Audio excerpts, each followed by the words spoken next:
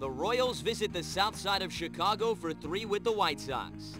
The Royals snapped a 12-game losing skid over the weekend and now look to make it three in a row. Skipper Trey Hillman said, quote, I'm not going to lose hope. We're not going to quit working. We're going to find out about us as a club. Tonight, Hillman hands the ball to Zack Greinke, who tries to notch his first career win at U.S. Cellular Field. In six outings, the right-hander is 0-4 with a 5.29 ERA. Of his four starts, he's lasted more than seven innings only once. But overall this season, Zack is 5-2 with a 2.88 ERA, plus 53 Ks. At some point, cross the knees.